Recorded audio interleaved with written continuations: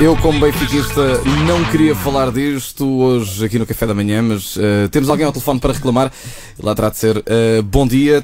Também está triste então com a derrota de ontem. André, fala Nilton, tu enganaste, ligaste para mim. Ah, ah, desculpa, então, então estávamos a falar com alguém que tinha que dizer coisas, não era? Ah, deve ser o senhor que vai aqui ao meu lado. Passa aí, passa aí, passa aí. Ser, passa, passa ao telefone. Passa, passa. Oh, bom dia. Então, está Oh. tá triste com a derrota de ontem? Oh, triste, oh, meu amigo, estou fogo. Estou pior pior que pior. Eu tinha uma paleta de, de garrafas de champanhe que comprei naquela promoção do Pingo Doce há dois anos, lembra? Sim. Na altura a minha mulher até disse, para que é que tu queres 800 garrafas de champanhe? Eu estava a guardar isto para uma altura importante, está a ver? Mas olha, pode, pode beber no domingo, na final da taça. Não posso, acaba amanhã a validade.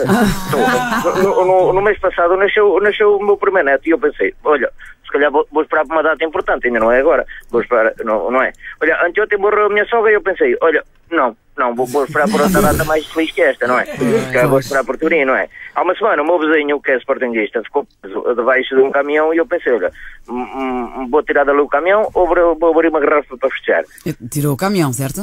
Não, por acaso abri, abri uma garrafa, ah, mas pronto, uh, mas, mas pronto, isso é uma felicidade não acontece todos os dias, não é? Ter um sportinguista ali, ali debaixo de um caminhão. Mas, ah, mas pronto, uh, mas pronto, isto, isto, isto para dizer que me custa, pronto, custa-me isto. E olha, ainda me custa mais, estamos lá em casa todos uh, já combinados, ir ali para o Marcos de Pombal festejar. E nada, não é? Para o, o Marcos de Pombal. O que é o Marcos de Pombal?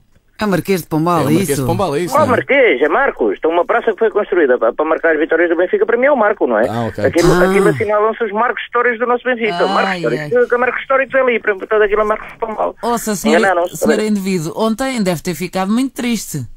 Triste. Opa, é, é como se eu não bastasse esta, esta derrota do Benfica, tive pelo menos 17 amigos que, que emigraram para a Ásia, veja lá.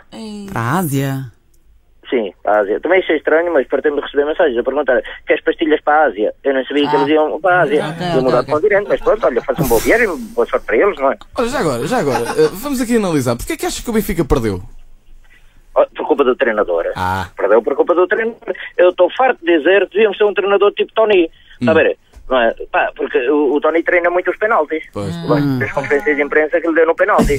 A E era, era, um, está a ver? Era, era um indivíduo que a gente precisava, não é?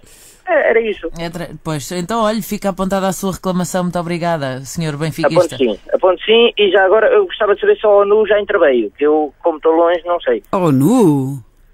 Sim, a ONU. Então ontem desapareceu, desapareceu, desapareceu uma nação, um país. não é? É, Oh, pá, não. estamos a perceber. Você está ao telefone, Então, não sei se é do isso som, mas disse que houve aí um, um país que desapareceu.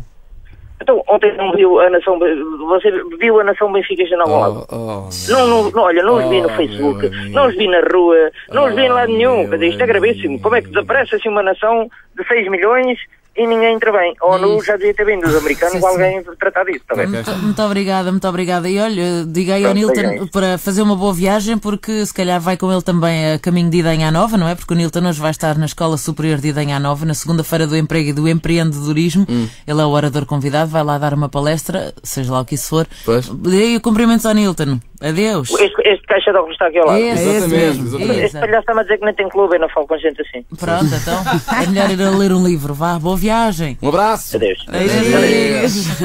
RFM